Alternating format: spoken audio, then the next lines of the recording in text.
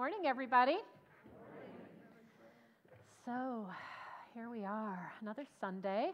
You've had a whole week to practice, remembering that God is love and that God loves you, and that prayer is really to remember to align our mind with that truth rather than feeling like we need to beg God for anything. Everything's already been given. We just need to wake up and become aware. And so last week we had a conversation about prayer and about standing in the gap, being that place of prayer for one another and for ourselves. And you were encouraged to take on prayer this past week. And how many of you took on that practice of prayer this week? Excellent. So I see some hands, and I'm guessing that somewhere someone had an insight an understanding, some aha that you cannot wait to share with us, right? To, so we can inspire one another to these ideas. And Brian's hand, see that? How quickly that happened. So Brian Nelson will share what your experience was, Brian.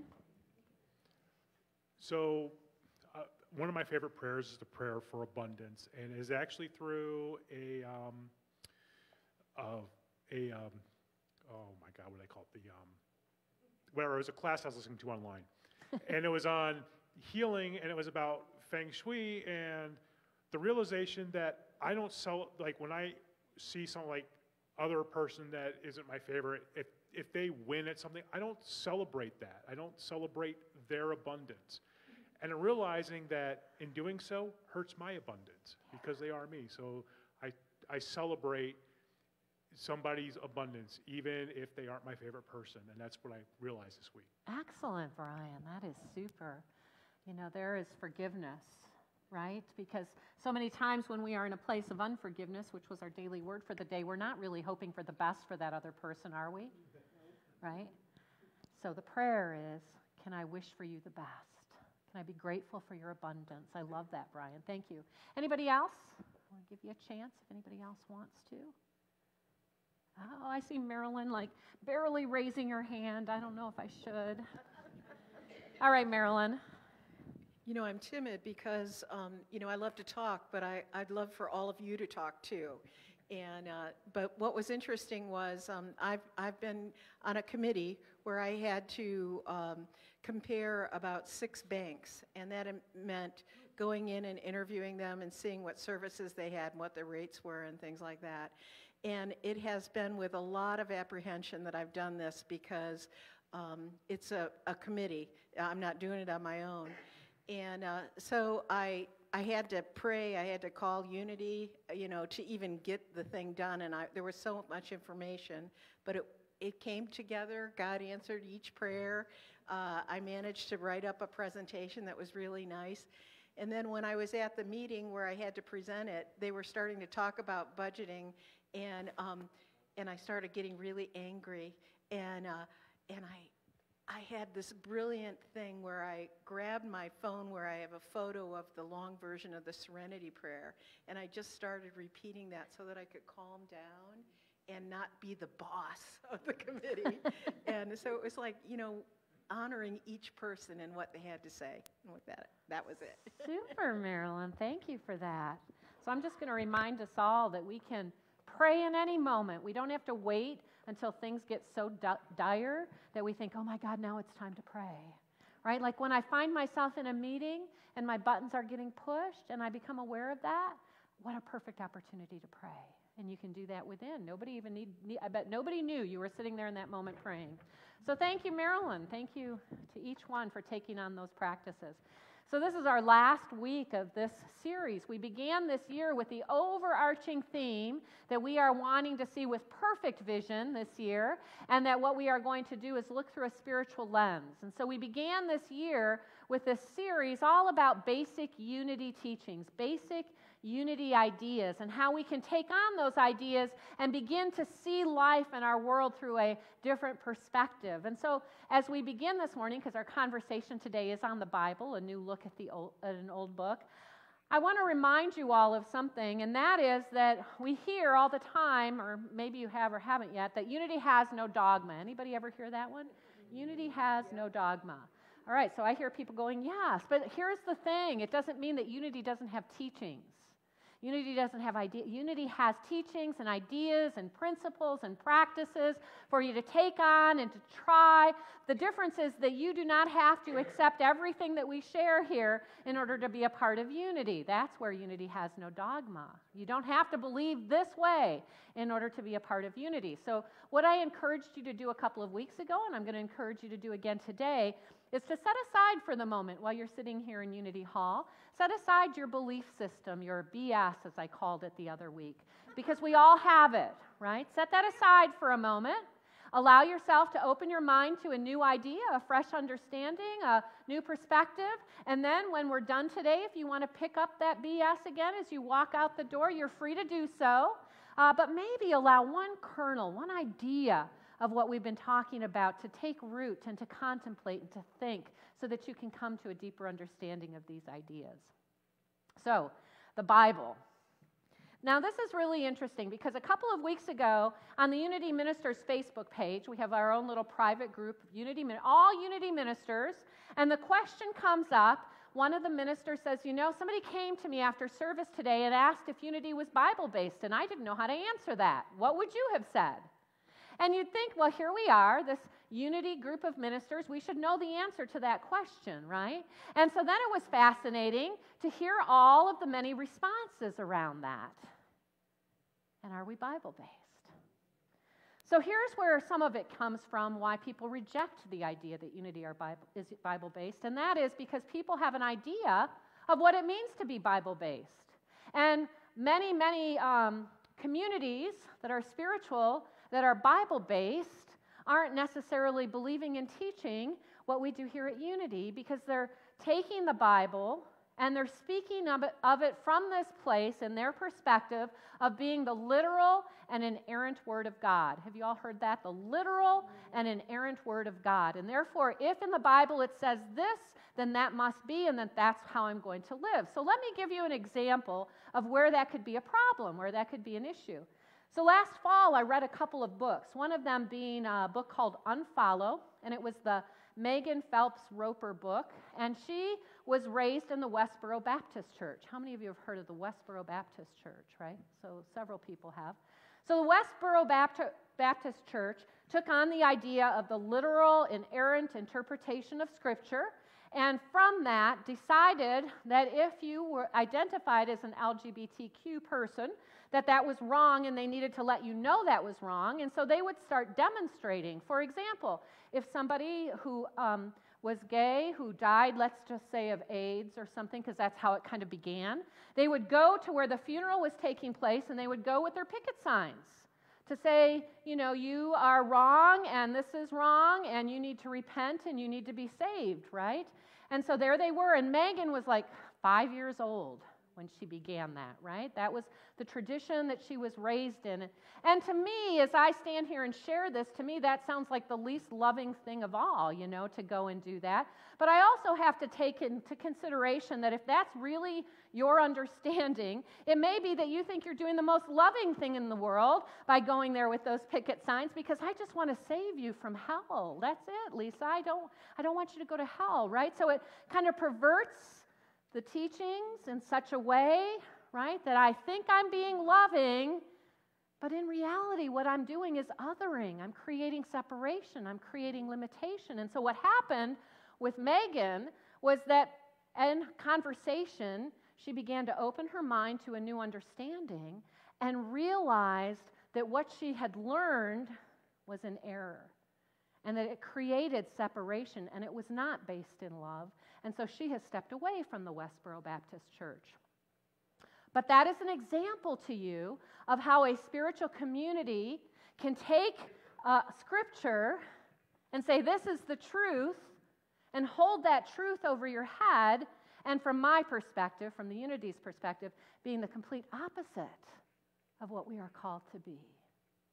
The same thing with um, Scripture being used to justify lots of behavior. So, Scripture being used to justify slavery at one point in time in our country, to justify the idea that there are races and that there are some races that are um, better than other races, right? So that was the conversation in this country at one point in time. It continues to be the conversation for people who may identify with the KKK or white nationalists who will say that they are a Christian, these are Christian ideas that we are teaching here.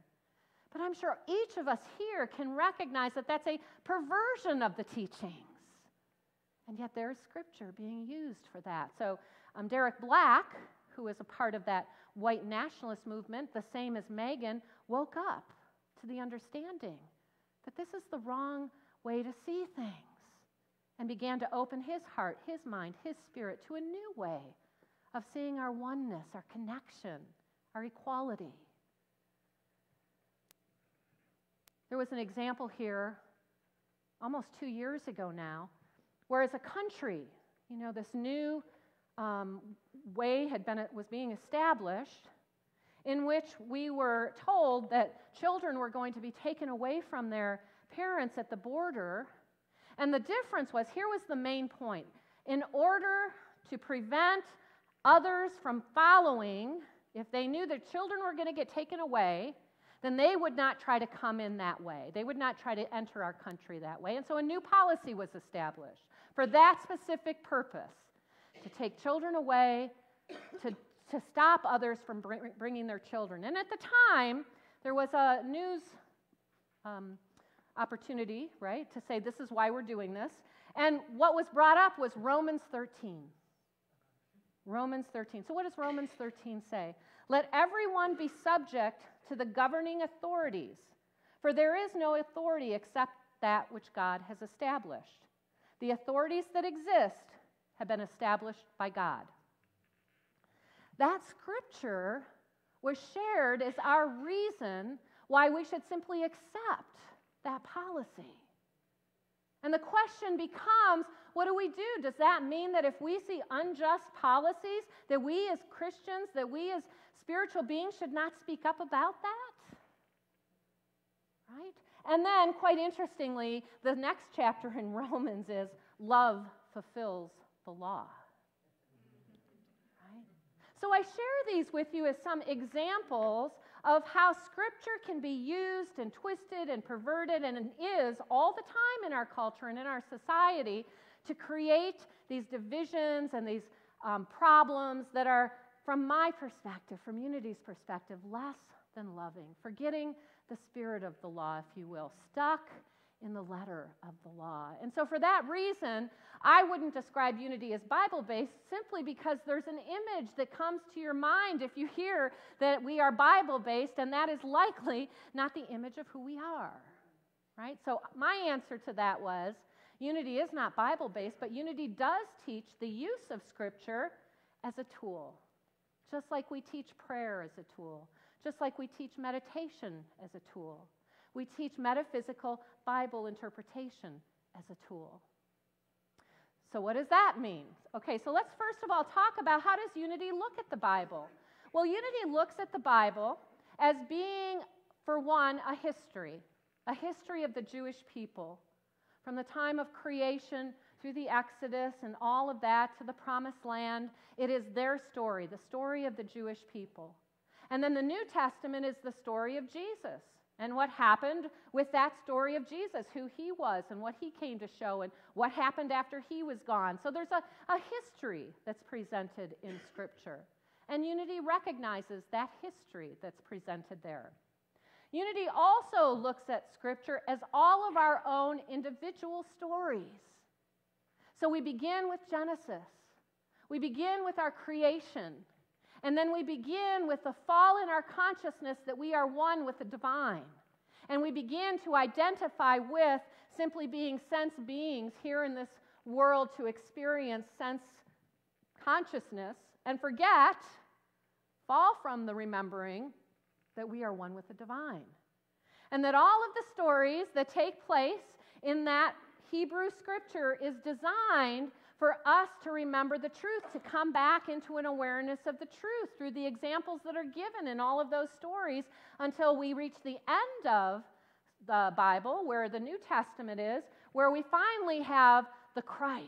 So we go from Adam man, forgetting, uh, separation consciousness, to the Christ, remembering we are one. We are here to be the light of the world. God is within us, and it is our story of moving from sense consciousness to Christ consciousness. And so, therefore, every single story in the Bible provides with us with an opportunity to take a look at it and ask, what is this to teach me on how I can move from an idea of lack and limitation to a remembering of this oneness, of being that Christ? And that's where metaphysical Bible ter- interpretation comes in. So, with metaphysical Bible interpretation, uh, what it is is that we are reading a story, and every single character in that story is an aspect of ourselves. That's the important piece to remember with metaphysical Bible interpretation because otherwise, what you're doing is you're reading a story in Scripture, like the story of Mary and Martha. Remember, where uh, Martha is working hard and getting everything ready, and she's upset because Mary is sitting there with Jesus, right? And in our mind, we might identify with one of those characters, like I might identify with Martha, and I might identify my sister with Mary, and I might get very upset with my sister, and see something outside of me as each of those characters. But instead, what we need to remember is that each of those characters represents a part of myself. So, the best way that I can share this with you, an understanding of this, is to actually interpret a scripture metaphysically. And I chose one today that you should all be pretty familiar with. And it's a little bit of a long one, so it's going to take me a moment to read. But this is the story of the lost son. Jesus said, There was a man who had two sons. The younger one said to his father, Forgive me, my share of, Father, give me my share of the estate. And so he divided the property between them. Not long after that, the younger son got together all that he had and set off for a dis- distant country and there squandered his wealth in wild living. After he had spent everything, there was a severe famine in that country and he began to be in need. So he went and hired himself out to a citizen of that country who sent him to his field to feed the pigs. He longed to fill his stomach with the pods that the pigs were eating, but no one gave him anything.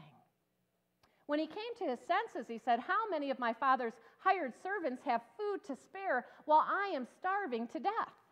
I will set out and go back to my father and say to him, Father, I have sinned against heaven and against you. I am no longer worthy to be called your son. Make me like one of your hired servants. And so he got up and he went to his father. But while he was still a long way off, his father saw him and was filled with compassion for him. He ran to his son and threw his arms around him and kissed him.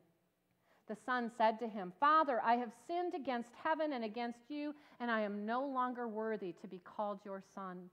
But the father said to his servants, Quick, bring the best robe and put it on him. Put a ring on his fingers and sandals on his feet. Bring the fattened calf and kill it, and let's have a feast and celebrate. For this son of mine was dead and is alive again. He was lost and is found. And so they began to celebrate. Meanwhile, the older son was in the field, and when he came near the house, he heard the music and the dancing. So he called one of the servants and asked him what was going on. Your brother has come, he replied, and your father has killed the fattened calf. He has found him back, safe and sound. The older brother became angry and refused to go in. So his father went out and pleaded with him. But he answered his father, Look, all these years I've been slaving for you, never disobeyed your orders, yet you never even gave me a young goat so I could celebrate with my friends. But when this son of yours who has squandered your property with prostitutes comes home, you killed the fattened calf for him. My son, the father said, You are always with me, and everything I have is yours. But we had to celebrate and be glad because this brother of yours was dead and is alive again. He was lost and he is found. The story of the prodigal son. Now, quite often, that story of the prodigal son is used as an example to show us of when we walk away from Christianity, we walk away from God, and then uh, eventually we come to our senses, we find Jesus, and God is there well, waiting to welcome, him, welcome us back. Right? That's typically how I hear the story of the prodigal son interpreted. And there's a lot to that in the metaphysical interpretation, but it goes much deeper. So remember, each person in the story is an element of us. So the prodigal son who left is an element of us. The father who is there is an element of us. The servant who is ordered is an element of us. The son who is left behind is an element of us. And what do we have to learn from this story? So, any time in a scripture that we see that there is fa- the Father in this case, or that Jesus is there, what do you think that might represent of us? Our higher self, right? It's that Christ consciousness. It's that Father within, that Spirit within, that one that we can never separate from that is within. So, in this case, that is true with this story. The Father in this story represents that place within us that where God always is, where our home really is. Now, at any moment, everybody knows this, right? Everybody here know that the Father is within us, the God is within us. Call it what you will. Love is within us, the divine is within us. We are one with divine mind. We all know this, right? We talk about this every week. Now, we go about our day. How many of you stay in that place of awareness throughout your day? By the giggles, I'm guessing not, right? I mean, we, we don't stay there. On any given day, we might move in and out of that awareness throughout our day. Throughout our day, we might in the morning begin with prayer and go, Yes, I'm centered. I remember this. And an hour later, we're thinking about what is something out there that we need to see or do or experience so that we can again fill up this place inside that feels like something's missing. Anybody recognize that? Yeah. You know, and so we're constantly looking outside of ourselves, constantly looking outside for our peace, for our joy, for our hope, for our contentment. You know, so it can look like this. You know, um, someday, someday when I'm uh, when I have my kids, I'm finally going to be fulfilled. And then when we have kids, well, someday when these kids move out, you know, I can finally experience my joy, right? Or it might look like, oh, if I only had this job, things would be great. And then that job comes and it might fulfill us for a moment, but then a year later or a week later, we're going, oh my gosh, I can't stand that job. I need something else, right? Or I'll finally be happy, not when I get the job, but when I finally retire from the job. I mean, whatever it is for us, we're constantly throughout our day moving in and out of an awareness that I am here, home, one with God, to, oh my gosh, I need this. Yeah. We do this constantly in and out throughout our days. Anybody not do that? Right, we all do that.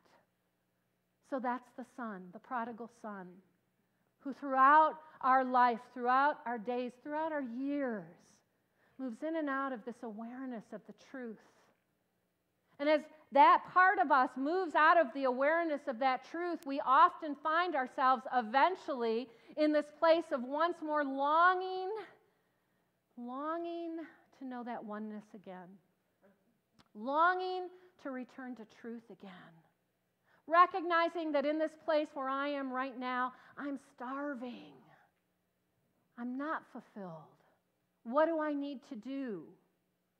Right? And then this idea will arise in our mind. Well, okay, this is this is where I need to remember to return to God. I need to remember to turn back to an awareness of God, right?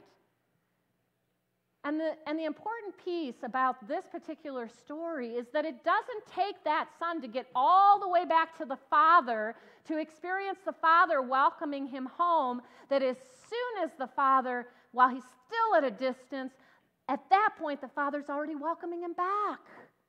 It doesn't mean that I've got to show up back home perfect completely aware, completely transformed. As soon as I have the idea I need to turn back to God, God is right there waiting to greet me and welcome me back. And this happens throughout our days and weeks and years and lifetimes. Prodigal son, back and forth we become. And God is always there waiting to welcome us back. So then along comes this character, the servant, right? The father tells the servant, Bring a robe, bring a ring, bring new shoes. Well, help me to welcome my son back. So, what do you think? What's the servant represent in you and I? Generosity, sharing, sharing. faith, giving, giving. Doing, the doing the work. Mm-hmm. Now remember, with metaphysical Bible interpretation, there is no wrong answer. Wherever each one is in their place in consciousness, what that represents for them, that's correct. That's what it is. For me, as I think about that servant, what I think about is that part in me that is willing finally to come back into the idea that I am here to serve that divine consciousness. I'm here to serve. And what does that look like? Well, it looks like bringing the robe, wrapping yourself in that robe. Well, what does that robe represent? So, in Unity, we have a couple of tools that we use for metaphysical Bible interpretation. One being meta- something called the Metaphysical Bible Dictionary. It's a big, thick book that Charles Fillmore wrote that tells you the meaning of different things like um, names of people or places, characters in the Bible. What do their characters represent? And then a smaller book called The Revealing Word, which tells us ordinary things like what does it mean a robe, a ring, new shoes. And so in unity, this idea of wrapping yourself in the robe means putting on a new state of consciousness, wrapping yourself in a new state of consciousness. So that part of me that is ready to listen and serve God begins by wrapping myself in this new state of consciousness. And in that new state of consciousness, I'm given a ring well, what's the ring represent? In unity, the ring represents, in this story, power, the acceptance of power, and that power being divine love. So I wrap myself in a new state of consciousness, and I remember that I am here to be love. I'm here to be that love. And then the feet, the new shoes. In unity, the feet always represents understanding, divine understanding. And so, as I wrap myself in a new consciousness, ready to own my power of love, I come to a new place of understanding. And that new understanding is that right here I am home. I am home in the divine. And I am here to express from my divinity. So, we've talked about the prodigal son, we've talked about the father, and we've talked about the servant. What about the character we never hear about? The brother left behind. That one hardly ever gets talked about in this story. So, how many of you recognize the idea of, you know, God, I pray every day like I'm supposed to. I meditate every day like I'm supposed to. I do these spiritual practices that Joanne tells us I'm supposed to do. But can you believe that I have not received what I think I should be receiving? Anybody ever have ideas like that? Okay, that is the elder son. The elder son. And what does the father say to that elder son? Those thoughts that we have when we want to compare ourselves to the way that life is being experienced by others and how we're doing everything we should, but it's not looking like it ought to. The father reminds that elder son, You have never left home. When you and I are getting into that place of wanting to argue with God, why? Why haven't you answered my prayers? I'm doing what I'm supposed to do. You are in a place of lack and limitation with that very idea. And you simply need to wake up to the remembering again where I am, God is, I am home here. And I've always been provided for here. And that is a metaphysical interpretation prodigal son. So I want to share with you a practice that you can take on this week. Oh, I didn't bring up my bulletin. So there it is. What I'm going to suggest for you is that you take a, a simple line from Scripture. Don't make it complicated. Take a simple line. I gave you one if you want to work with it. God is our refuge and strength and ever present help in trouble. And take that idea this week and contemplate it. Think about it. What does that mean to me? How does that speak to me? What does that say to me about living as this Christ presence and power that I am? If I take that idea in any moment, remember when I leave the awareness that I am one with God, how will this idea help restore my sanity, my peace of mind? It can be this scripture or any scripture of your choosing. But take and work with it. One year I worked with, every day I read 1 Corinthians 13. You know, the love chapter. Every day for a month I read that. And I contemplated it through my day. And I thought, what would it look like to live this in my day? What does it look like to live that in your day? And then, of course, that's the point. How can you apply that and live that in your life on this day? So, who's willing to take on that practice with me this week? All right, so I'm looking. I'm looking who said yes. Marilyn's always happy to share, but she'd like to hear from some others of you. So put it into practice this week and come back and share so we can inspire one another to be the truth that we know, to move beyond the letter of the law to the spirit of love that is behind the law and that is the fulfillment of the law.